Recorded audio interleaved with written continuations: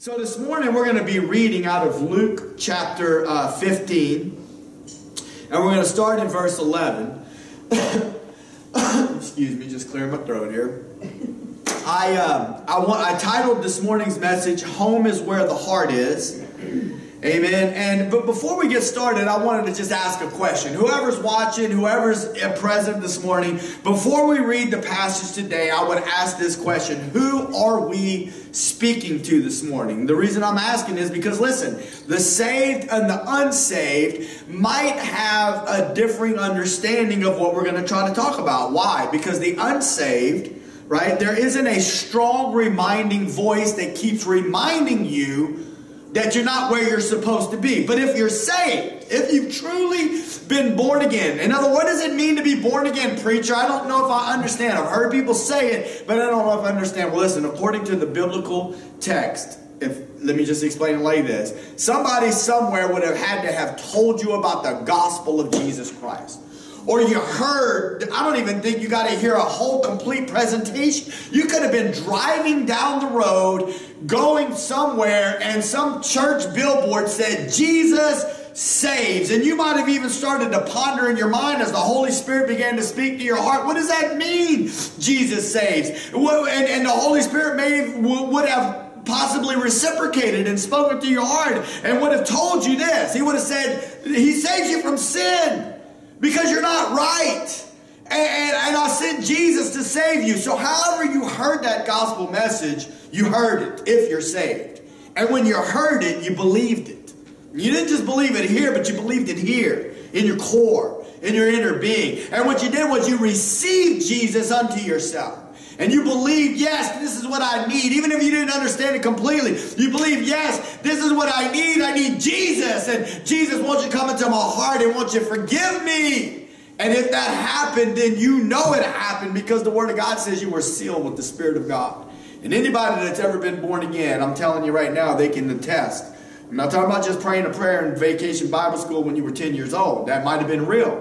If you prayed a prayer in vacation Bible school when you were 10 years old and, it, and you got saved, then you know what I'm talking about. The Holy Spirit came to live in your heart, and your life has never been the same. And that's what I'm talking about. If you're saved, you're going to have a different feeling about this message that I'm going to preach, but I'm trying to prepare you, if you're unsaved, to understand what I'm trying to talk about this morning. Because really, what I'm talking about this morning is for the believer. I'm talking to the believer this morning, and if you're a believer and you've been saved and you've been sealed with the Holy Spirit, there's a strong reminding voice that never leaves you. Oh, he's always there. And he's pleading and he's speaking and he's con and he's talking to you and he's saying, Won't you come back? Won't you turn around? Won't you come back to the place? Don't you know that home is where the heart is? That voice keeps saying, This isn't making you happy. See, the Holy Spirit lives in your heart if you're a believer. And if you're traveling to certain places, well, no, let's say it like this if you're running from God's will, if you're running from God's will, then the Holy Spirit in you is saying, This isn't home why are you here? This isn't home. Why are you here? Let's read Luke chapter 15, starting at verse 11. And he said, A certain man had two sons, and the younger of them said to his father, Father, give me the portion of goods that falls to me. And he divided unto them his living. And not many days after, the younger son gathered all together and took his journey into a far country and there wasted his substance with riotous living. And when he had spent all, there arose a mighty famine in that land, and he began to be in want. And he went and joined himself to a citizen of that country, and he sent him into his fields to feed swine. And he would fain have filled his belly with the husk that the swine did eat. I mean, just to explain, what does that even mean, fain? That's where, I know I've said this before in church, I've taught on this before many times. It means, this is where we get the word fiend. It's a literal word. The word fain there means to have a desire for something, an overwhelming compulsion and desire for something that really, and most of the times, is not anything that you would want to have a desire for, and it's just going to destroy you. But anyway, he was, he was fiending or feigning to have his belly filled with the, with the pig food. And no man gave unto him. And when he came to himself, that, you know, that really was sticking out to me this morning. When he came to himself, he said, How many hired servants of my father's have bread enough and to spare, and I perish with hunger? I will arise and go to my father and will say unto him, Father, I have sinned against heaven and before you, and am no more worthy to be called your son. And make me as one of your hired servants. You know, I didn't put this in my message, but I'm thinking, you know, when you read this particular little verse, this first part of verse 19, and am no worthy to be called your son. I've sinned against heaven. First of all, that isn't my message, but listen, he comes to a place of humility, all right? And before you, I've sinned against heaven, I've sinned before you, oh God, and I am no more worthy to be called your son. I'm telling you right now, there's some teachings in the modern church that still live on today that would probably take issue with that. How, how dare you speak that over yourself that you're no longer worthy to be called the son of the living God? You are the righteousness of God. You are the child of God. That's what the word of God says. Listen to me. When you come to a place of humility and you realize that you have transgressed God and you realize you have gone against God's will, you're humbled in your heart and you realize, Lord, I am unworthy, but you are so good that you have made a way to make me worthy. And that's what's happening in this young man's heart right here. I'm willing to be a servant, Lord. I know that I was born a son, but I'm willing to be a servant. You know, that's the truth right there. That's the gospel. When you get born again, you become a co heir with Christ Jesus. There's an eternal reward awaiting you in heaven. And at the same time, the humble of heart, when the Holy Spirit enters into your heart and grabs a hold of you, He will speak to you and He will tell you that you are called to be a servant. The Lord said, Jesus Himself said, I have no longer called you servants, but I call you friends because a servant doesn't know what his master's going to do. But at the same time, I'm telling you, when you're lined up with the will of God, the Holy Spirit in your heart will, will bring you to a place of submission and He will give you the heart of the Apostle Paul who said, I am a doulos of Jesus Christ, a slave of the Lord Jesus Christ. Because there's something that's going on in there. Yes, you're a son, you're a co heir, and that's how God sees you. But the Holy Spirit in you, working in you, says, you know what? I need to lower myself because Jesus lowered himself. The same spirit that rose him from the dead now lives in you. He will quicken your mortal body. He will bring your spirit man to life and he will begin to give you revelation of the word of God. And in that revelation, you will realize, with revelation, you will realize that you are to be a servant, that you are to be humble, to walk humbly before the Lord. He says in verse 20, He arose and he came to his father, and when he was yet a great way off, his father saw him and had compassion and ran and fell on his neck and kissed him. And the son said unto him, Father, I have sinned against heaven and in your sight, and am no more worthy to be called your son. But the father said to his servants, Bring forth the best robe and put it on him. And you know, I just want to stop right now because I got to tell you that that's how good God is. And that no matter what else you get out of this message, I feel like the Lord would say that you need to tell my people that I love, that I sent my son to purchase their salvation, all because I want to have a relationship with them, that I am this good. That no matter how far they've run, no matter how bad they've done, no matter how much they've tried to separate themselves from me, I love them. And I desire to receive them back unto myself. And if they would just come to me, and, and be willing to surrender to me and humble themselves before me, they would fill my open arms embracing them. Father said to his servants, Bring forth the best robe, put it on him, and put a ring on his hand and shoes on his feet, and bring here the fatted calf and kill it, and let us eat and be merry. For this my son was dead and is alive again. He was lost and is found, and they began to be merry. Now his elder son was in the field, and as he came and drew near to the house, he heard music and dancing. And he called one of the servants and asked what these things meant. And he said unto him, Your brother is come, and your father has killed the fatted calf, because he has received him safe and sound, and he, talking about the brother, was angry and would not go in. Therefore, his father came out and entreated him or spoke to him and said, And he answering said to his father, Lo, or look, these many years have I served thee, neither did I transgress at any time your commandment. And yet you never gave me a kid. That's a, that's a baby goat that I might make merry with my friends. But as soon as this, your son was come, which has devoured your living with harlots, and has killed you, and you have killed for him the fatted calf. And he said unto him, Son, you are ever with me, and all that I have is yours. It was meet, or it was a good thing that we should make merry and be glad.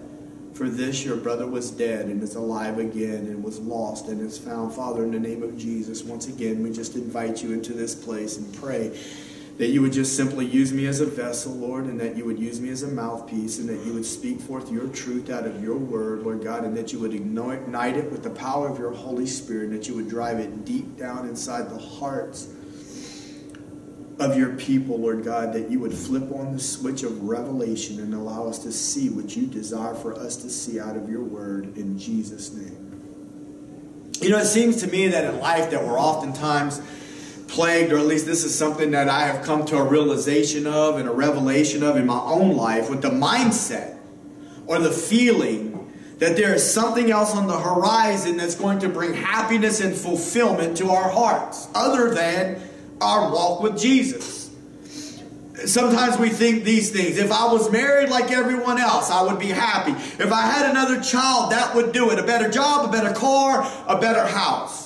And I can remember for me personally, I was actually having a conversation with Robert, and I remembered this that after I was married, I had had children, I was a nurse practitioner, I would still feel unfulfilled. I was going to church, I was involved in the church more than most people, but I still felt unfulfilled, still not completely satisfied. It really it wasn't anybody else's fault.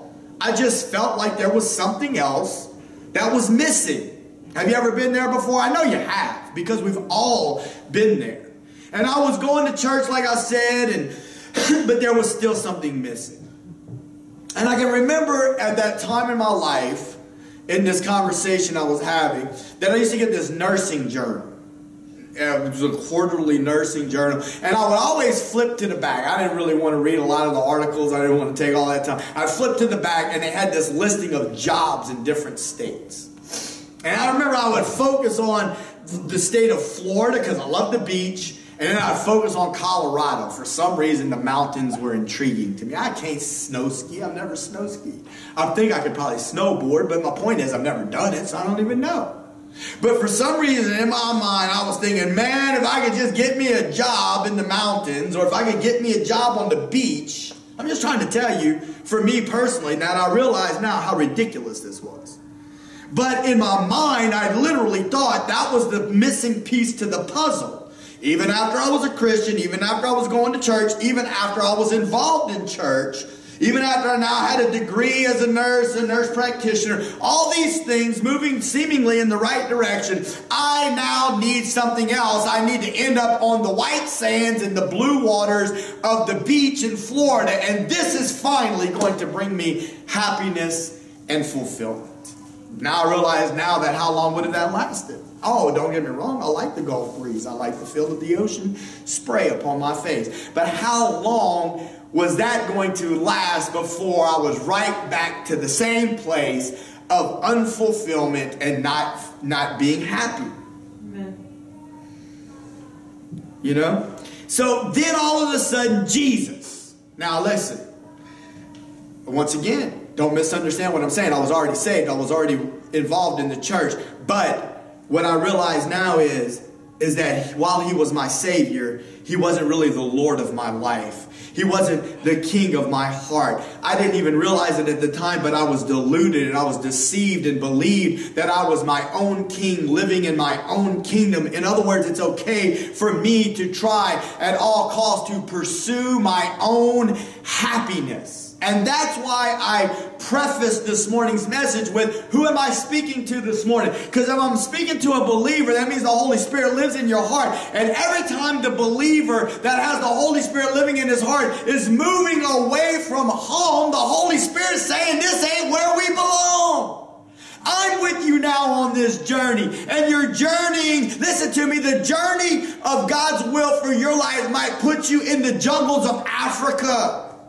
And if you are in the jungles of Africa and you're supposed to be there, the Holy Spirit in the midst of your heart is going to be saying, Hallelujah, we're home. We're right where we need to be. But listen to me, you could be three blocks down the road from where you're supposed to be living physically, but outside of the Lord's will, and the whole time the Holy Spirit saying, Why aren't we home? The place where you are is not where you're supposed to be. And it's a constant reminding voice on the inside of your heart that's saying, Won't you come back? Because you're not, because at that point in time, we're not allowing Jesus to be the king of our heart. We're still the Lord of our own life. We're living, we're still trying to live in our own kingdom. We're not living inside of his kingdom. Do you realize that when you get saved, you move from one kingdom into another kingdom? I don't want to get a whole head of myself, but you move from one kingdom to another kingdom. There's a different will in the kingdom of God versus a, the will that's in the kingdom of the world.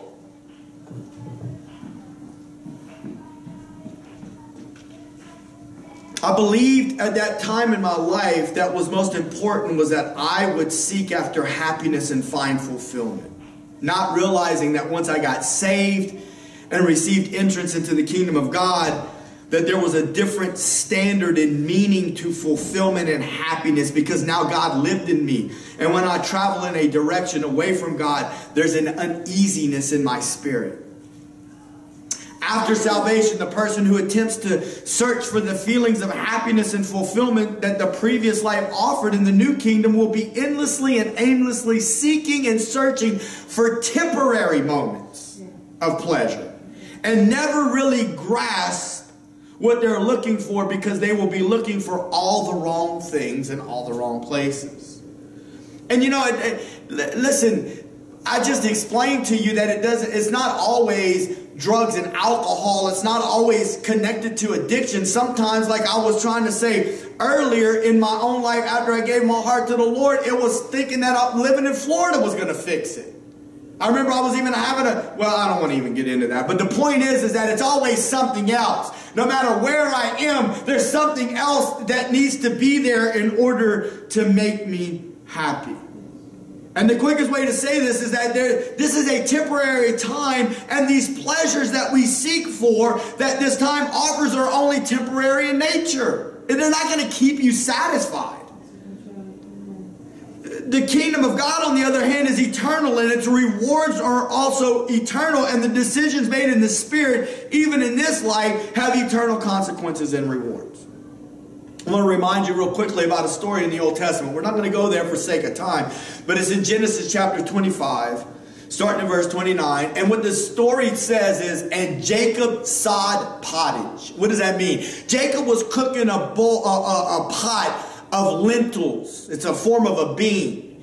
And, and the idea, listen, I'm probably getting a little too deep here, but the idea is that the lentil in this case was red lentils. So the pottage was red, his brother, the Bible says that when he was born was red. His name was Esau. The people that were named after him were called Edom, which is a form of Adam, which means red. Adam was taken from the red earth, which was the red dirt. All this is, is a type of the flesh. And the flesh wants what it wants. It doesn't want to go God's way. It doesn't want to go according to the Spirit's way. It wants to go its way. And that's what my message this morning is that, uh, that, that, that, that, that that home is where the heart is, and that when the Holy Ghost lives in your heart and you're traveling outside of God's will and you're going in your own direction and you're running from the Lord, then the Holy Spirit is constantly reminding you that you're in the wrong place at the wrong time and that you need to get back home. And as long as you try to seek something else to fill that spot in your heart, you're going to continue to feel that uneasiness and feel as though you're not where you belong. So here's Jacob and he's cooking this pot of beans. And his brother Esau, red and hairy, comes back from the forest. He's famished. The Bible says that he was faint. And then, and he said, Feed me, I beg you, won't you feed me some of that red pottage that you have, for I am faint. And therefore was his name called Edom, a variant of Adam, meaning red, because he's of the flesh. And Jacob said, Sell me this day your birthright. Jacob wasn't right either right now, but that's another story. Esau said, Behold, I'm at the point to die. Right now, in this moment, this temporary vapor, I need pottage. I'm not worried about my future. I'm not worried about eternity. You got to give me something for my belly right now because I got to fix this thing that I'm missing.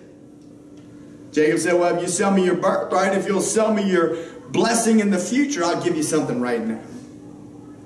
And so that's what he did. He sold his birthright.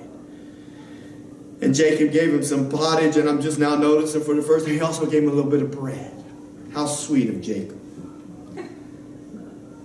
And he up, went up his way and thus despised Esau his birthright. See, Esau was the firstborn. Esau was where the lineage should have come of the Christ. But God knew in advance that Esau would despise the connection to Jesus. Just like God doesn't want us to despise that, but He knows about each and every one of our lives, and He knows how we're going to respond to the gospel. I hope you don't despise your birthright. I hope you don't despise your eternal inheritance. I hope you don't trade it in for some temporary moment of pleasure that you think is going to fill up the emptiness that's on the inside of your heart, when in reality, the thing that you search for is Jesus. Because I'm here to tell you no money, no car, no house, no relationship, no child, no job, no business, no amount of money in your bank account is going to fill that spot that belongs to Jesus.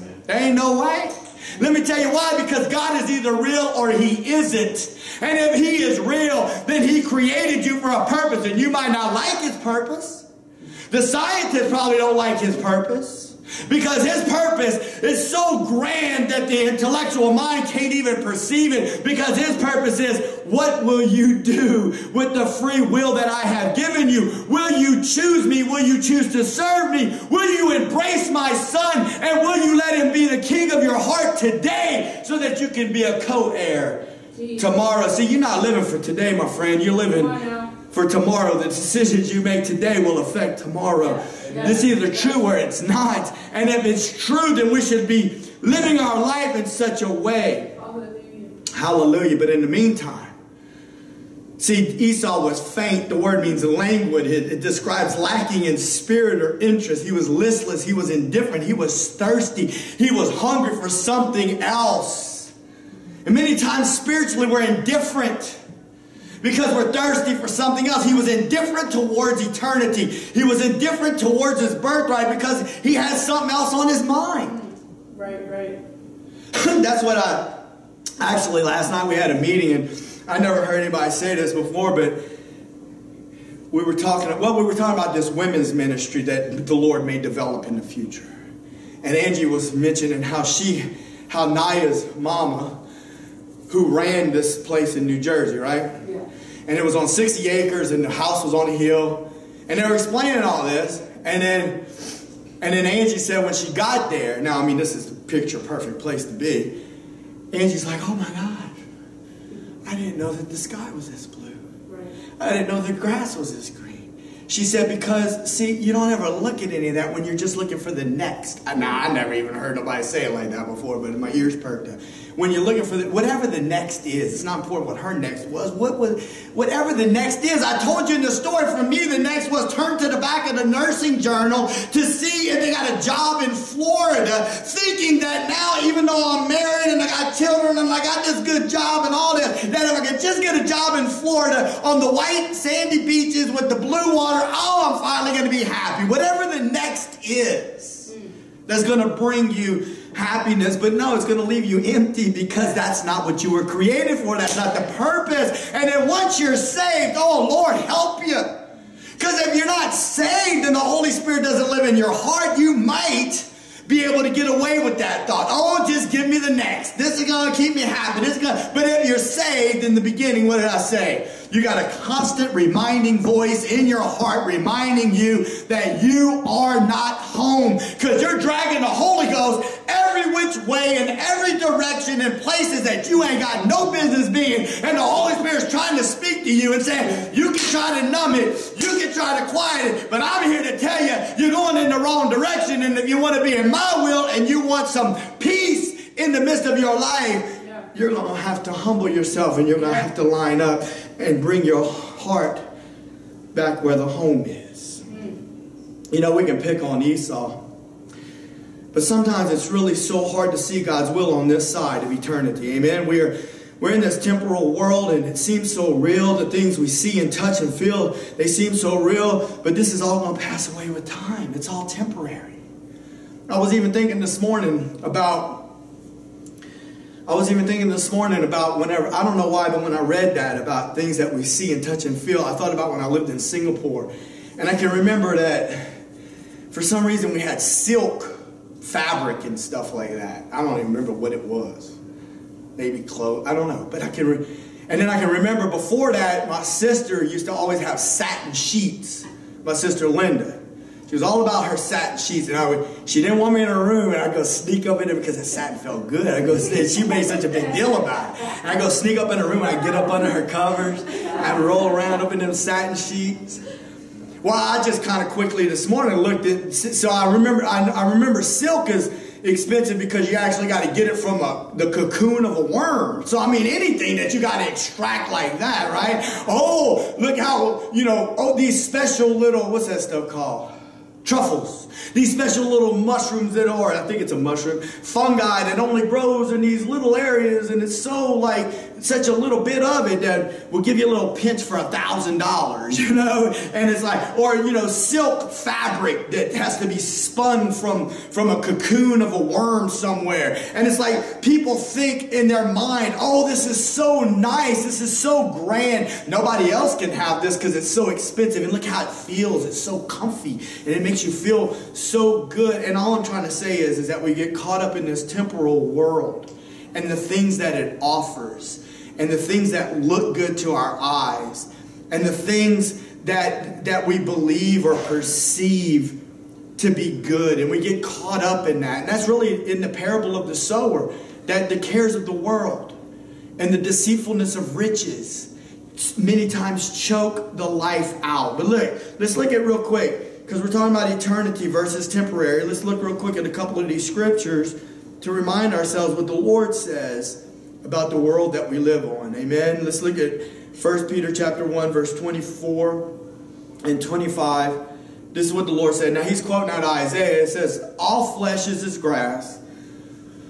All the glory of man is as the flower of grass. The grass withers, the flower thereof will fall away, but the word of the Lord endures forever." This is the word which by the gospel is preached unto you. See, the gospel of Jesus Christ is going to tell you something different than the world's going to tell you. Yeah, yeah. The world's going to tell you, trade in your eternity for this temporary moment of pleasure, crawl up in these silken sheets, grab a hold of your, you know, focus on your, your nice BMW, whatever your car is. Focus on all of these things and trade it all in for what you're really intended to have. Let's take a look at Matthew chapter 24. Matthew 24, verse 35 says this Heaven and earth shall pass away, but my words shall not pass away. First John chapter 2. I really wanted you to see this. I wasn't even planning on going to the whole thing, but as I began to look at some of the scriptures above it, I started off with First John chapter 2, verse 17. But then I felt like I needed to go up a little higher, and I saw why the Lord wanted me to do that. Let's look at verse 15. Love not the world, neither the things that are in the world. If any man loves the world, the love of the Father is not in him. For all that is in the world, the lust of the flesh, you got a desire. That word lust simply means a desire. So you have a desire for something that is going to please the please the external man. Make the external man happy, not the true spirit man that the Holy Spirit's connected to that's telling you that you're moving outside of God's will, and also the lust of the eyes. All these things that you see, that you have a desire, and you're convinced are going to make you happy and fill the emptiness in your heart. The pride of life. I can still remember, and I'm sure she'll remember too, that I used to have a blue Toyota Camry. And I know I've told you all the story. Hopefully you don't get tired of it. It's the best illustration I got. And I remember it all happened one year when I was actually in the doctor's office. And I was the Lord was already dealing with me about the commercialization of Christmas. And some guy said, Hey man, you ready for Christmas? And I can remember being so frustrated, at that poor guy.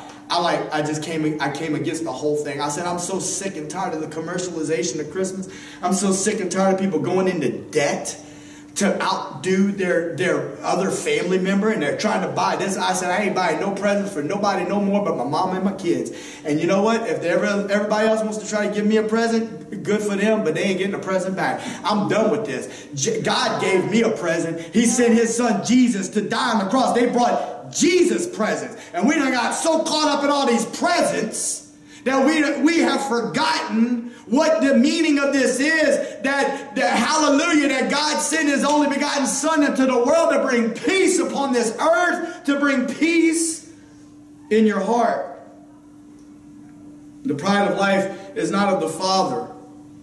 And anyway so what I'm talking about I'm talking about the pride of life. So that's when it started in the room with this guy. And at the same time, I was bringing Isabella and Sierra to school. I had this blue Toyota Camry, and I had some missing hubcaps. I think they were both on one side, I think. Probably on the right side where I'd have to drop the girls off at school.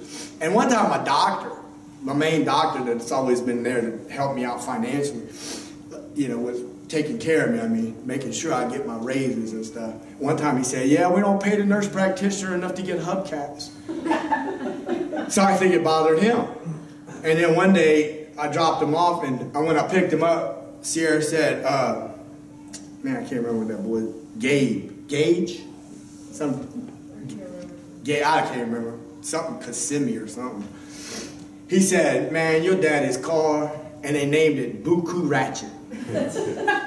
Your daddy's car is Buku Ratchet. And I says, does that bother you? That that that he feels that way? Because it ain't like I can't buy no hubcaps. And it's not like I can't afford to get a better car. But I understand that if I go get a new car, within three months of me driving 80 miles every day, the depreciation of that car is going to plummet and granted, maybe I could have gotten out of them every couple of years, but the point is, that's the way I was trying to think. And I was also trying to say, you know what? This works good for me because Matt's got an issue with the pride of life anyway. And so driving around Buku Ratchet without a couple of hubcaps does a good thing for me. It might not work for you, but it works for me. She said, I don't really care, Daddy. I said, well, good then. I'm going to keep on driving Buku Ratchet and I ain't even going to get no hubcaps because I can care less about them hubcaps. Pride of life. The idea that something else around the corner or on the horizon is going to make us happy. But look what it says. And the, and the world, the world passes away, verse 17, and the lust thereof. But he that does the will of God will abide forever. We know that, right? I mean, because I was just talking about that. We know if you're saved, you know what I'm talking about. We know it that, that we're seeking after temporary things that are not ultimately going to bring us happiness, and we believe it, and yet we search and search. Like a wave tossed on the ocean, we keep looking for a shore to land on. All right, I'm going back to my message. The prodigal son, you ready? Point number one. I want to exercise my rights. Let's go back to Luke chapter 15, and we'll take a look at uh, verse number 12. Luke 15, verse number 12. It says, And the younger of them said to his father, Father, give me the portion of goods that falls to me. And it says, He divided unto them his living. I want you to see this. Now, when he said he divided unto them his living, he's not saying, I'm, a, I'm, I'm dividing this particular boy. No, he, the father divided his living or his portion that belonged to the Son. So, what I'm trying to talk to you about real quick here is that God created you with a free will. And God gave you everything that you needed in order to exist. And God is not going to try to control you to the point where He's going to tell you, no, you can't have this. And that's one of the hardest things as a parent that, to get to the place whenever they start to grow up that you got to start releasing them and letting them go. He divided unto them his living. God gave you breath, God gave you hope, God gave you life, and He's also given you a free will that you can do what you want with it. Look at Joshua chapter 24, verse 15. Joshua 24, verse 15. And it says, if it seems evil unto you to serve the Lord. Now listen, you got to understand something. This is a time frame whenever the children of Israel are living in rebellion against God. They've intermixed themselves with the world. So this is still relevant for you today, Christian. Some people are like, oh, the Old Testament don't mean nothing. No, it means a lot. Oh, See, because the Old Testament Israelites were doing the same thing then that Christianity does today. Old Testament Israelites were intermixing themselves with the world and they began to serve false gods. Christians today intermix themselves with the world and they're serving false gods. What you talking about, preacher? Uh, I ain't got no statue up in my. You don't need a statue. You filling yourself with all kind of stuff that the world's offering you that has become an idol in your life, and it's worse than a statue. It looms taller than a statue, and it prevents you from being able to get to God. It prevents you from being able to see God because your eyes and your focus is so on these things that the world is offering offering you. Right, right. So Joshua says, listen, it might not seem like the right thing to you, but you're gonna you for you to serve the Lord, but you're gonna make a choice. Choose you this day whom you will serve. Make a decision. Either you're going to serve the gods that your father served on the other side of the flood. What's he talking about? All them false gods, pre flood gods, fallen angels, demon spirits of the Amorites in whose land you dwell. But as for me and my house, hallelujah, we will serve the Lord. I can tell you right now, this preacher ain't perfect, but I have come to the place of revelation to understand that I want to serve God. I want to live my life for the Lord. I want to represent Him. I don't want to fall back into the way that I used to be. I don't want to serve all the old gods of the world that I used to serve because they nothing but destroy me and leave me more empty and how much longer, how much more will it take for me to be convinced? Because that's really what my message is about this morning. What's it going to take to bring us to the place of convincing? Let me move on.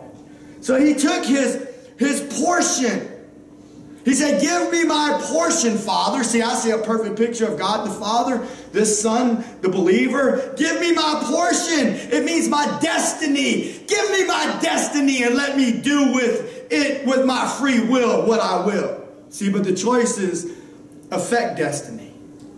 Do we believe or not that God has a good plan for our lives? Jeremiah 29 11, for I know the thoughts that I think toward you, says the Lord, thoughts of good not of evil, to give you a future and a hope. See, God has a plan for your portion, for your destiny. But sometimes, but not sometimes, but the world also has a plan for your portion and your destiny. And if we're not careful, one day we'll wake up and realize we not squandered it all. The choices that, that we make today affect us. His own decisions to take what his father had given him and move outside of God's will result will result in loss to his life. The word substance. Because he spent it all. Substance means what one has, his property, his possessions. Listen to me. There's an, there's an eternal inheritance in heaven that is waiting for us. But, it, but he wants to bless us even on this earth. But if we keep moving outside of God's will, what's going to happen at some point in time is we will end up squandering our substance. His wandering heart was unsatisfied at home with his father. And no one was going to be able to convince him otherwise at this point in his life. You know, I remember Wednesday night, I said it probably five times. We need revelation from the Holy Spirit. We need revelation from the Holy Spirit. Holy Spirit, please click the switch Somebody stand up. I remember I, asked, I want to ask somebody to go over there and turn the switch off and click it back on. Because until the Holy Spirit flips the switch of revelation, I, the, the parent must tell the child, don't squander your life searching for all kinds of things that are only going to leave you empty. You need to understand that Jesus is the answer that you look for. And the, and the parent must continue to do that. And the preacher must continue to do that. Hallelujah. But I'm going to tell you something. Don't mention his mama in the story, but I guarantee you his daddy tried to talk to him. His mama tried to talk to him. I would imagine his close friends that loved him tried to say, dude, don't take your possessions and run off. It's not God's will for your life. But at that point in time in his life, ain't nobody going to convince him because he's like, I'm going to exercise my rights God gave me a free will. I can make my own determination. He might be my Savior, but He's not my King. Uh, he might have died on the cross for me, but He's not the Lord of my life. I got somebody else sitting on the throne, and I'm about to do what I desire to do. His wandering heart was unsatisfied, and nobody was going to nobody was going to convince him. No one but the Holy Spirit will ever, ever be able to convince you that what you're really looking for is already right here at home. That relationship with the Lord. Yes, Lord. That was point number one. I'm going to exercise my rights, buddy. You better move out of my way because I'm going. Listen, I'm learning, man. You can try to fight it in other people's lives, but I'm telling you right now, sometimes you just got to let people go. Yeah. that's what this father did. He let them go. Mm. Point number two many times the road to convincing is painful. Listen, this word in my notes was supposed to be capitalized because it was, in my mind, a town, a destination, convincing. Where are you going?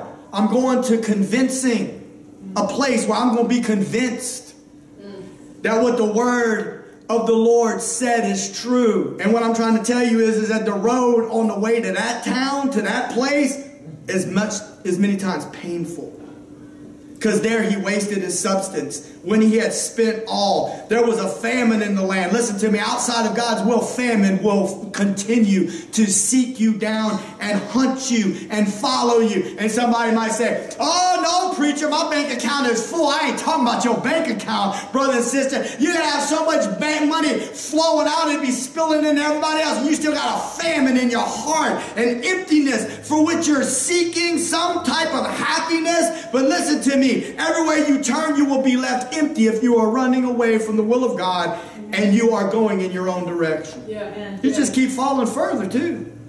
That's where it says it. He will have fain to fill his belly with the husk that the swine did eat. He was fiending for pig food. Mm. It, you open up the door, it starts off not that bad, and the next thing you know, you right back where you worst place that you could have ever imagined being. He was in want. It means to be destitute. Listen to this. This word tardy and fail. You ever remember whenever you failed at something? I can remember failing before. I don't know about you, but that bothered me. And listen, I'm to be honest with you. I'm not always the most prompt person, but when I'm tardy, dude, it bothers me. You know what I'm saying? I done showed up five minutes late. You might not think, well, if it bothers you so much, man, why don't you fix it? I don't know, but it Could you imagine being weighted down with a constant feeling of tardiness and failure? Oh, the enemy wants to destroy you with that. See, as long as the road feels fun, though, and seems fulfilling, we will stay on that journey. But when it comes to a dead end, and we start to realize that what we thought would bring us joy has again left us empty, then repentance can come. Because you see, but repentance requires a change of mind and direction. So I'm on the road to convincing. I'm going to make it to this town. But along the way, there's bumps on the highway. There's painful situations. And it's leading me further down a place I ought not go. And it's leaving me more and more empty and more and more painful. God knows how to help us change our minds, church. God is the perfect example of fatherhood. He will allow us to travel the road of our choice, knowing that He will be right there when we come to our senses. Mm. If we come to our senses, Lord, help us. A far country There he wasted his substance with riotous living. Verse 14, and when he had spent all, there arose a mighty famine in the land, and he began to be in want. And he went and joined himself to a citizen of that country and sent him into his fields to feed pigs. And he would have feigned or fiend to fill his belly with pig food. Look at this right here. And when he came to himself, I don't know about you, but I can remember being this guy right here. I can remember the darkest time of my life where I had no place to lay my head and didn't even know it, but my daddy was fine trying to find, he was trying to fix stuff. He was literally making all kind of phone calls before they even had cell phones to people that knew me once that he might have had a connection to to find out where I was. And then when he found out where I was, he like was sending people like a hundred dollars, two hundred dollars just to try to cover for me to be able to lay my head. And he would tell them, don't tell him that I sent you any money. But by the time the money got, got to the person where I had been sleeping, I was already sleeping in somebody else's house. Wow. He was trying to fix everything because he because I know that he loved me and he was carrying guilt and he felt like it was all his fault. But what I need to do is I gotta I gotta come to myself. Yeah. I got to come to the place where the light switch flips on and it's between me and God. Yeah. I can't bring you to yourself. Right, right. Hallelujah. But the Lord knows how to put you on the road to the town called convincing, to bring you to the place where you would come to yourself. It literally means that he was separated. The idea was, was that he was over here and his real person who would be a believer, who would be connected to Christ, was over here. And finally, the Holy Spirit made him come to himself. Yeah. And when he came to himself, he said, What am I doing? What am I doing? There's hired servants in my father's house that are doing all better than me. I will lower myself. Oh, hallelujah. See, pride ain't going to get it, church. Right, right, right. Uh, us being puffed up and arrogant and full of self and thinking we got something figured out and all this other stuff. Listen to me, it's so deep on the inside. Most of the time, whenever people ain't got nothing, I don't know if I'm allowed to say this or not. My dad used to say, You ain't got a pot to piss in, boy. Right, right. Well, the King James Version says they pisseth against the wall. You ain't got a pot to piss in, son, and look at you. You still over here rebelling. You still over here. Or you ain't got nothing to your name and you still trying to go your way. What does it take to convince? And, and you know what I realized at that worst time in my life? I was so arrogant. Mm. I was so prideful. Right, right. I just, I actually thought that I had answers for people. Come on, come on. I'm like, oh, I'm going to fight you to the end, brother. Mm. Sister, I'll confront you. I'll tell and like look and they probably must have been looking at me like, look at this fool. Look at this fool right here. He got purple warm-ups with a torn shirt and paint on his clothes. His his tennis shoes all I mean, they might try to dress like that today on purpose. I don't know. But back then, look, I was, I, and I thought I was cool. I wish I would have had a picture of that so that I could look backwards at that. I literally thought that I was cool in my own eyes. Lord, help me. I was destitute. I was in want. There was famine in the land. But thank you, Jesus. I finally got to a place with the help of the Holy Spirit and other people had been trying to tell me where I came to myself. I came to myself. Lord, help us come to ourselves. Yes, Lord. Yes, Lord. And this is what he said when he came to himself. He said, I will arise and go to my father, and I will say unto him, Father, I have sinned against heaven and before you, and am no more worthy to be called your son. Make me as one of your hired servants. I said it earlier because so many times the enemy will lie to us, and I wanted you to get this out of my message because I say a lot of words. And sometimes people say, oh, his messages seem harsh. But one thing that I felt like the Lord wanted me to tell you this morning was, is that His love for you will never die. Amen. And no matter how far you think you've moved away, and no matter how bad you think you've done, I'm telling you right now, He is waiting with open arms to receive you back. And if you will go back to Him, He will hug you, He will hold you, He will embrace you. And he will throw a party for you. Amen. The angels in heaven will sing a song just for you because that's how much they love you. Movement towards humility changed the direction and started a journey towards a different destination. What he admitted first was that he had sinned against heaven, and that's really what's required. Right. Right? You don't have to call me up and tell me your stuff. I mean, sometimes people feel like I had somebody the other day that said, I just feel like I got with tears filled in their eyes. I feel like I gotta, I just feel like I gotta tell you something. I mean, you can tell me all day long. You can tell me, you can tell somebody else, you can tell that one, you can tell that one. But if you ain't, if you ain't really coming clean with the Lord, it might make you feel a little bit better for a moment of time. And I'm not opposed to that. I'll give you ears. I promise you I will. And I'll pray for you and I'll hug you and I'll tell you that I love you. But I can't fix it. Yeah. And even though you tell me you might feel better for a moment in time, but the reality of it is, is that if you ain't coming clean and repenting and changing your direction with the Lord, this is gonna be another time next week. Amen. You're gonna have to you're gonna have to give me a holler again in a month, two months. Yep. You get the point that I'm trying to make? No, whenever repentance takes place, there's a change of the mind and a change of direction. And with the help of the Lord, Yes. and that's Yes. listen to me. With the help of the Lord, with the revelation of the Holy Spirit, with the Holy Spirit moving and operating in your life, the Holy Spirit doing the change on the inside, reflected outwardly. Why? Because of what Jesus did. That's why the Holy Spirit can do it. Jesus already died on the cross to get rid of your sin, to allow the Holy Spirit to move in, to allow the Holy Spirit to do the work, not just for salvation, but every single day. As you keep your faith in Christ and His finished work, it gives the Holy Spirit permission to change you, to strengthen you, to encourage you, to walk towards the will of God, to change your mind, to change your direction. Listen to me, you can't do this on your own. This isn't an AA meeting, this isn't rehab. This is recreation of a new creation in Christ.